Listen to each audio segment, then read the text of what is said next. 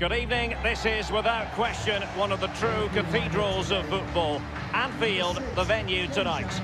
I'm Derek Ray, joined here on the commentary position, as always, by Lee Dixon. And we're ready for UEFA Champions League group stage action tonight. This really should be a belter of a game, Lee.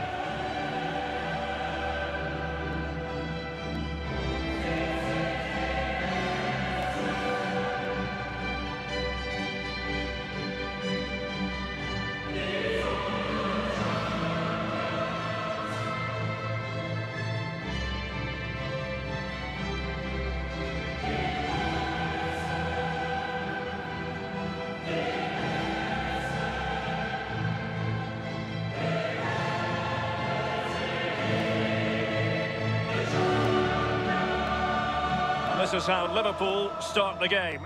Virgil van Dijk plays alongside Dejan Lovren in central defence. Mohamed Salah plays with Sadio Mane out wide. And leading the attack today is the ultimate pressing machine, Roberto Firmino.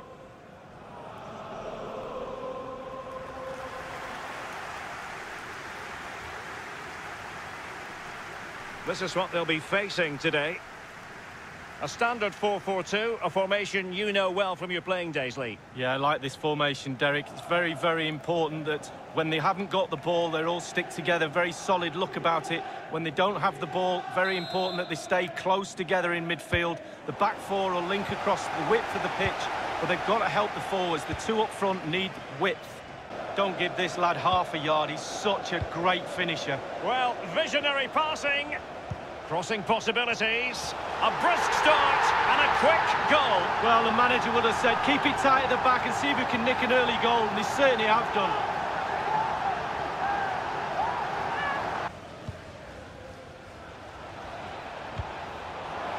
Carrying a genuine threat here. And the ball is in the net. The crowd have gone crazy. Salah. Roberto Firmino. Nothing wrong with that idea.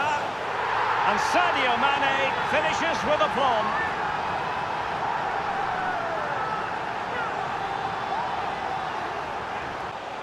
It's a highly promising Liverpool attack, but will there be an end product? Delivery from Salah here. And it's in for Liverpool. Is there a way back for the opposition now?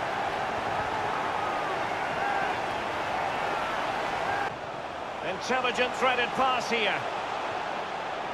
Running with the ball confidently. Is it going to be? And they've only gone and applied that finishing touch.